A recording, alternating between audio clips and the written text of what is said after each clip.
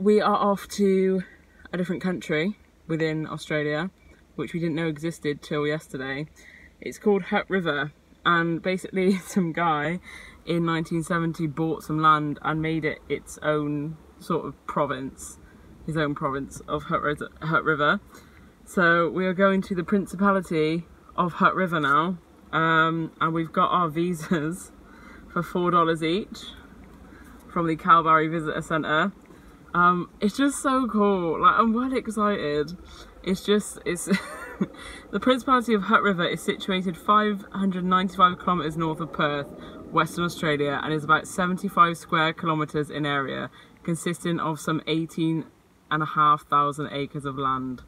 It's an independent sovereign state, having seceded from Australia on the 21st day of April 1970, and is compa of comparable size to Hong Kong. Um, so yeah, basically, there was this guy, Prince Leonard, um, and he has now passed it on, I think, to his son. Um, there's a government office, a post office, tea room, swimming pool, and a chapel. So it's just a bit of a tourist attraction, a bit of a novelty thing, and you can get your passport stamped there. So we're gonna go there and stay there tonight. Um, so yeah, I'm pretty excited to check that out.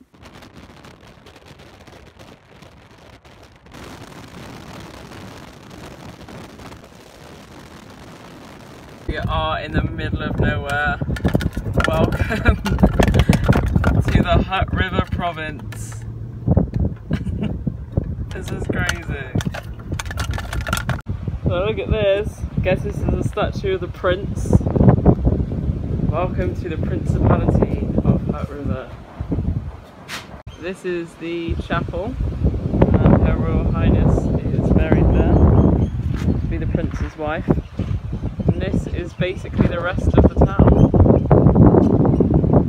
This is the uh, Hutt River Province flag flying high there. Just uh, opposite the government offices and post office there.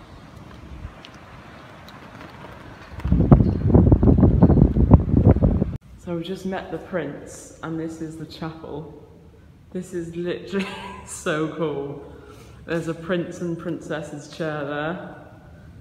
And uh, got the old emblem there. Just getting the old passport and the visa ready. We can enter into the uh, government offices. This is the government office, stamp collection. All of this art was done by one of the princesses for the stamp. Rock collection, collection of notes.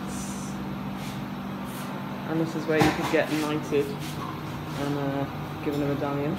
We've just uh, got our Hutt River Province money and has our visas stamped and also so had our passport stamped. so cool. This is a letter from the Queen to Prince Leonard. Righto, so we're now at our campground, which is just around the corner from like the main town with the uh, government building and everything. Prince Graeme showed us around and he was lovely and told us all about the history of the place and how it happened and everything. Um, so basically what it was was Prince Leonard, his dad, who started the whole thing. Um, this is a, still a working sheep and wheat farm and it was something to do with, I don't completely understand it fully enough to explain it properly, but it was something around the price of wheat and the West Australian government I think were trying to sort of do him over a little bit with the price of wheat and he found some legislation um, where he thought right I'm just going to be independent from that law. So yeah now it's become the Principality of Hutt River and yeah it's an independent sovereign state. They've got their own stamps they've got their own currency they don't pay tax. It's literally it's such a cool place and it's a highlight of this trip for me because it's just something that I've never seen or I don't know, it's so new and it's just, it's so cool. Definitely come here. It's not like a massive thing. It's not on many like West Coast itineraries. So I don't know if that many people know about it or people aren't interested, but how can you not be interested? The campground too. Um, and shock horror, we are the only ones here hiding behind that bush. Yeah, I just, I'm all about this face. I absolutely love it. I just think it's fascinating, and also it's it was five dollars per person for an unpowered camp, which is nothing. There's a shower and a toilet and a barbecue, and you can't have fires because it's like after the 15th of October to the 15th of March. It's too dangerous, but there are fire pits. Um, and to get our visas, it was only four dollars per person. So like to come here and camp, it's nine dollars per person, which is nothing.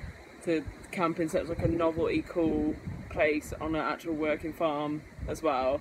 There's also no phone signal here, forgot to say, which is pretty cool. I quite like it. I quite like not having signal. Sometimes just it forces you to kind of take in what's around you and appreciate where you are. Um, so yeah, I'd say that's a bonus. So yeah, if you didn't get that, I would highly recommend Hutt River Province um, if you're doing a West Coast trip because it's sick.